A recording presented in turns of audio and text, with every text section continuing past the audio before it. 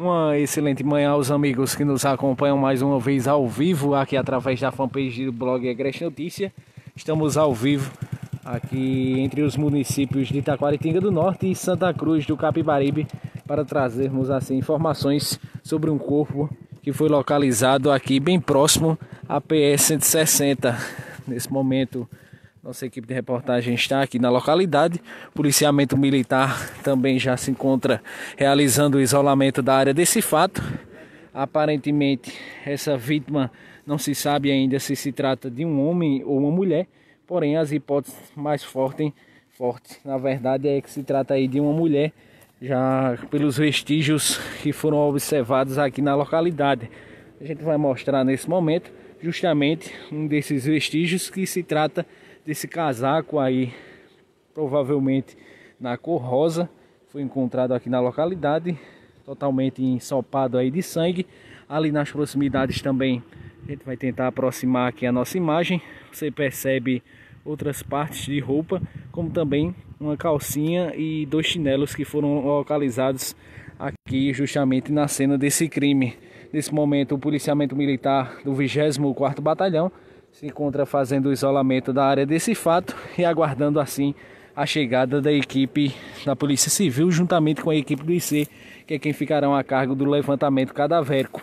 Um ponto que chama a atenção também é as diversas perfurações provavelmente provocadas aí por uma faca justamente pelo corpo dessa vítima. Como frisei anteriormente no início dessa transição, o corpo também se encontra com a cabeça parcial, parcialmente decapitada. A gente vai mostrar apenas essa parte do corpo, já que se mostrarmos mais próximo, com certeza o Facebook estará tirando a nossa transição aí do ar. Como você pode visualizar através das imagens aqui do blog Agreste Notícia, esse corpo está trajando justamente uma bermuda jeans.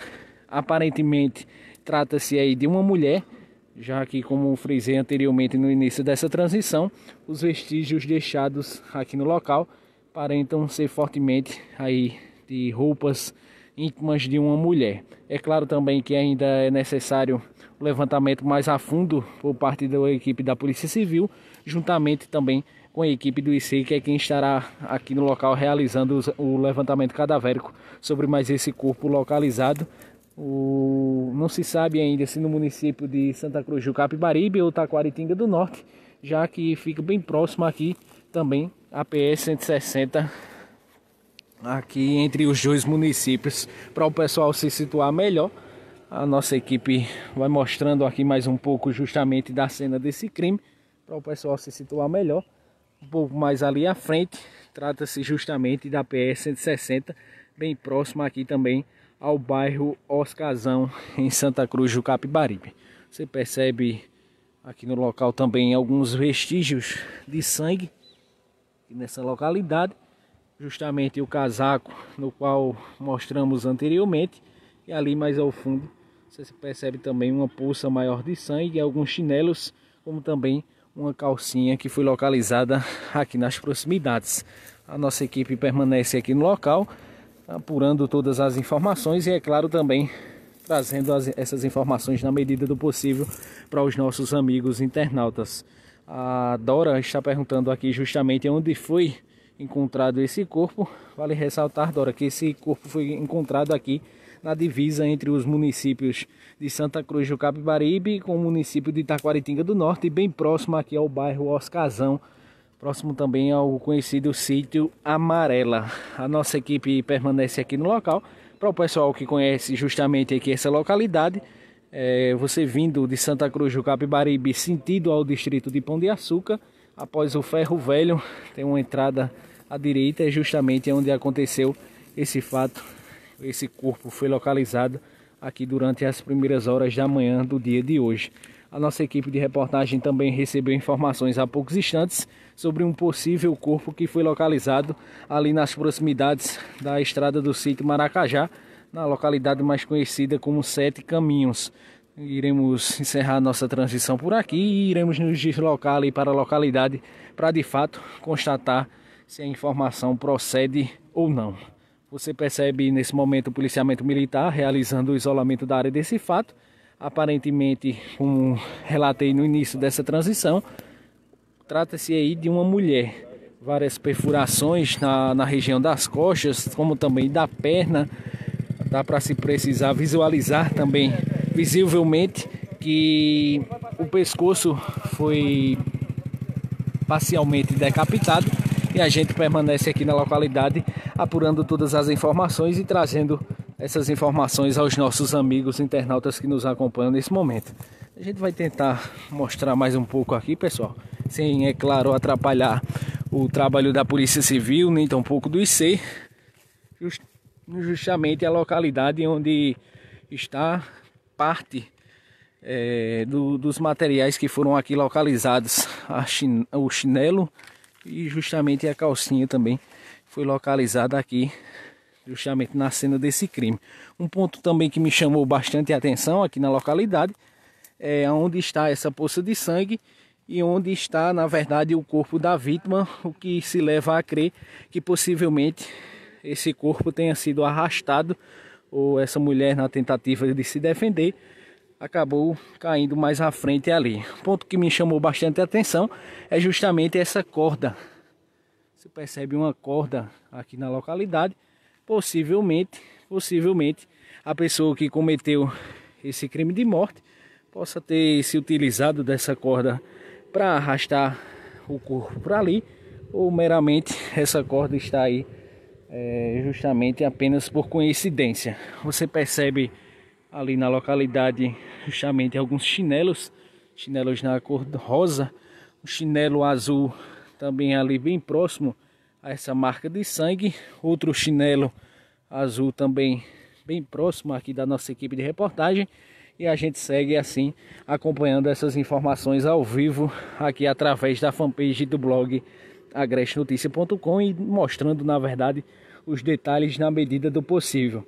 Para o pessoal se situar melhor e dar informação concreta na qual a gente trouxe anteriormente, possivelmente esse corpo possa ter sido arrastado justamente desse local onde você vê a marca de sangue para aqui onde está justamente o corpo possivelmente dessa mulher.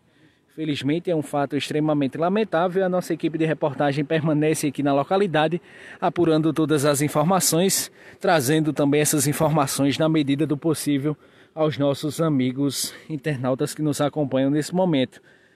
Vale ressaltar que essa vítima ainda sem identificação, porém pelos vestígios colhidos aqui na localidade, possivelmente trata-se assim de uma mulher.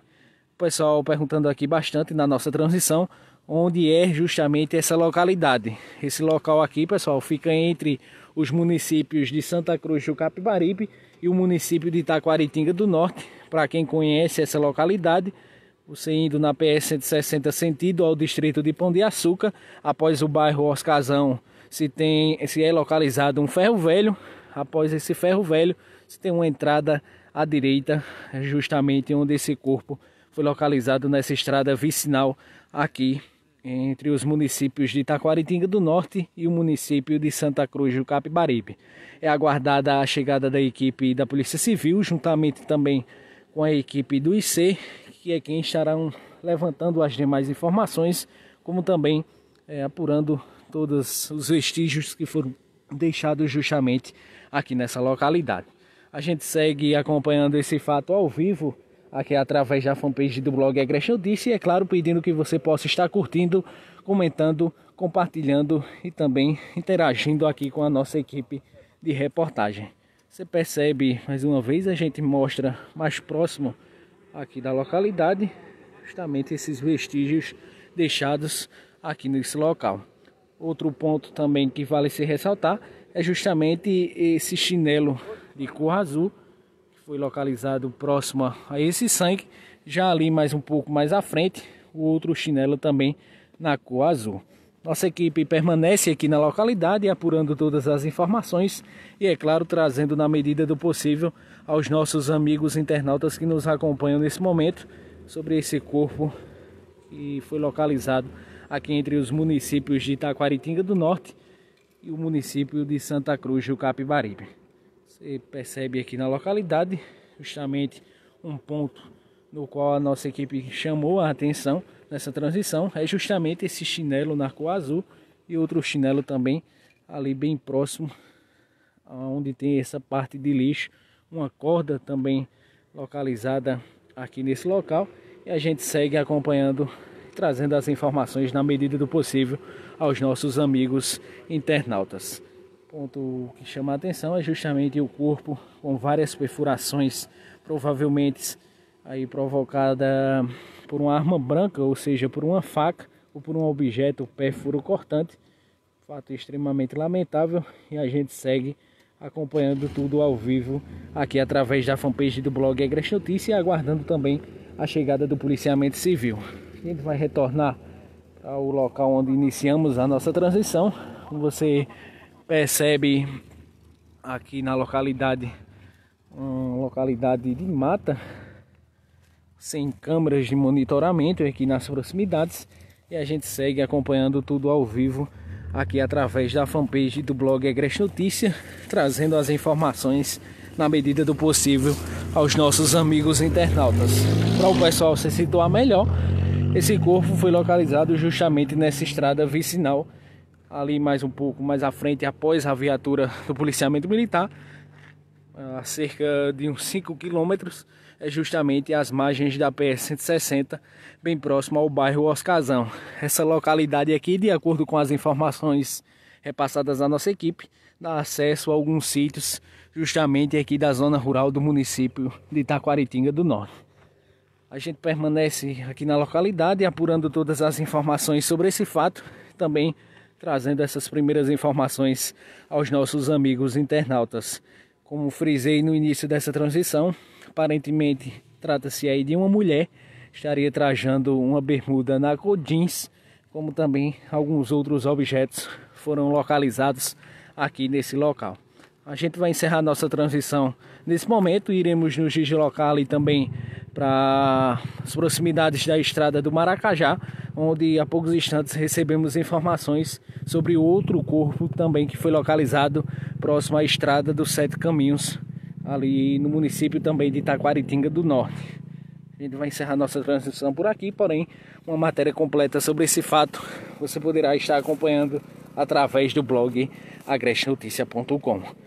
Você percebe o policiamento militar realizando o isolamento da área desse fato. O pessoal também aqui da funerária Anjos se encontra na localidade e a gente acompanhando tudo na medida do possível. Iremos encerrar nossa transição por aqui, porém poderemos retornar a qualquer momento trazendo informações sobre tudo o que ocorre no Agreste do estado de Pernambuco.